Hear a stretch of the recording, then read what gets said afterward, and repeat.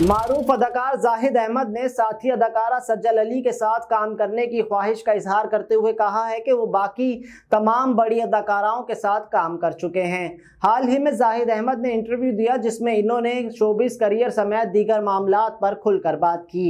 एक सवाल के जवाब में इन्होंने सज्जल अली के साथ काम करने की ख्वाहिश का इजहार करते हुए अदाकारा की तारीफ़ें भी की। इनका कहना था कि सज्जल अली बहुत ही टैलेंटेड अदाकारा हैं और इन्होंने आज तक इनके साथ काम नहीं किया।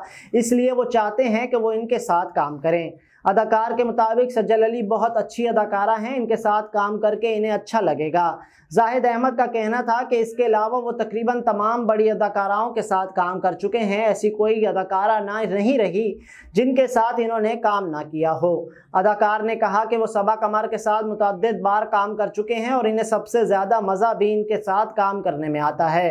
जाहिद अहमद के मुताबिक सबा कमर भी नहायत ही शानदार अदाकारा हैं। इनके पास भी हर तरह के किरदार को निभाने का फ़न है, जबकि इनमें से किसी तरह का कोई नखरा नहीं है। इन्होंने बताया कि इन्होंने माहिरा खान के साथ भी मुख्तर फ़िल्म में काम किया है, जबकि हाल ही में इन्होंने महविश हयात के साथ भी एक छोटा सा काम किया। जाहिद अहमद ने महविश हयात की भी तारीफ़ें की और कहा कि वो बहुत ही मजाही अदाकारा हैं। इनमें किसी चीज़ का नखरा नहीं।